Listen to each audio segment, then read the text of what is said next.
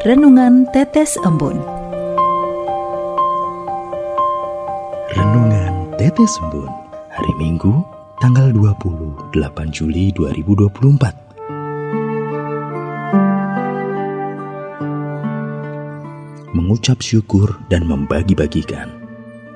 Kutipan diambil dari surat Rasul Paulus kepada jemaat di Efesus bab 4 ayat 2 Hendaklah kamu selalu rendah hati, lemah lembut, dan sabar. Tunjukkanlah kasihmu dalam hal saling membantu. Sobat Katolikana, hari Minggu biasa ke-17 hari ini biasanya juga dirayakan sebagai hari orang tua, kakek, dan nenek sedunia. Paus Fransiskus menetapkannya untuk pertama kali pada hari Minggu 25 Juli 2021.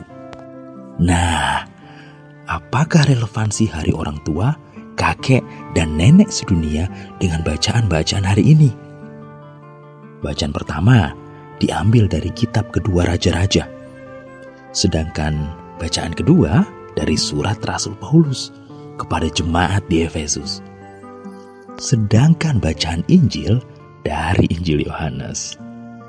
Dan semua bacaan hari ini berkisah mengenai berbagi berkat dan bersyukur. Bukankah berbagi adalah sesuatu yang selalu diteladankan orang tua kepada anak-anaknya? Terlebih bila mereka bersaudara. Saya merasa bersyukur sekali karena senantiasa diajarkan tentang pentingnya berbagi oleh orang tua saya. Sedangkan kelemah lembutan dan kesabaran merupakan busana para orang tua dan umumnya melekat pada sosok ibu. Walau pada kasus-kasus tertentu karena faktor sosial ekonomi, kesehatan, atau trauma masa lalu, kondisinya menjadi berbeda. Sebagaimana kita menyapa Tuhan sebagai Bapa dan Maria sebagai Bunda. Oleh karena misteri penyelamatan, yang menunjukkan kedekatan relasi anak dengan kedua orang tuanya. Dalam bacaan pertama, Nabi Elisa menjadi perpanjangan tangan Tuhan yang begitu mengasihi umat Israel dan menekankan kepada siapa pun agar senantiasa berbagi berkat yang diterimanya. Berbagi sesungguhnya adalah wujud penghargaan dan syukur atas setiap berkat yang diterima. Sedangkan nih ya, pada bacaan kedua, Rasul Paulus lebih menegaskan kepada kita tentang bagaimana seharusnya mengaplikasikan berkat yang diterima melalui laku, sikap, dan ucap kita yang selalu dipenuhi oleh kasih dalam hidup dan sekaligus dijiwai satu roh. Yang memanggil kita sekalian kepada satu pengharapan Hmm, Sobat Katolikana, mudah gak sih sebenarnya untuk selalu bersikap rendah hati, lemah lembut, sabar, dan setia menunjukkan kasih? Dalam hal saling membantu ya, bukan hanya kepada yang dekat dan tidak ada persoalan dengan kita. Jika yang kita berbuat demikian, apalah upahnya? Hmm, karena mereka pasti bisa membalas setiap perlakuan kita, bukan? Mari dengan penuh kerendahan hati, kelemah lembutan, kesabaran, dengan setia kita tunjukkan kasih dalam membantu mereka-mereka yang terpinggirkan, miskin, disabilitas, dan tidak mampu melakukan apa-apa sendiri. Bagi kita semua yang masih memiliki orang tua, yuk mulai berbagi kasih dengan orang-orang terdekat, yaitu keluarga dan orang tua.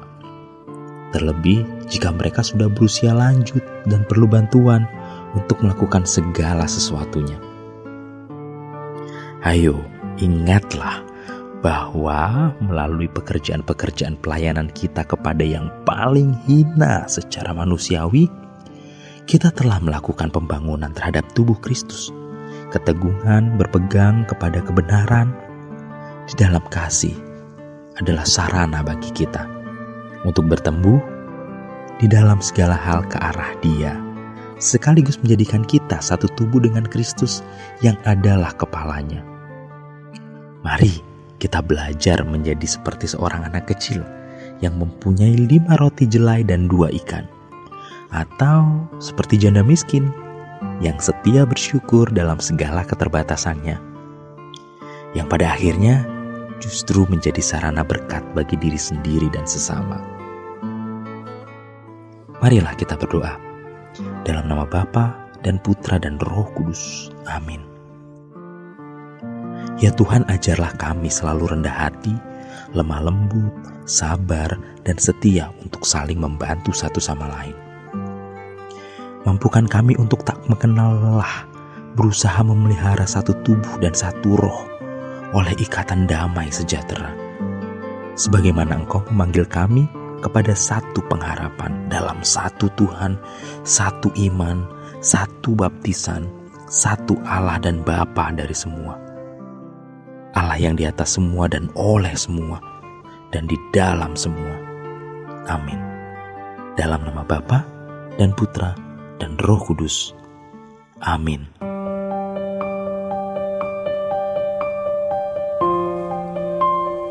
Demikian Anda telah mendengarkan Tetes Embun yang dipersembahkan oleh Radio Katolikana. Renungan Tetes Embun bisa Anda simak di Radio Katolikana media sosial Radio Katolikana, dan YouTube Katolikana. Terima kasih dan sampai jumpa.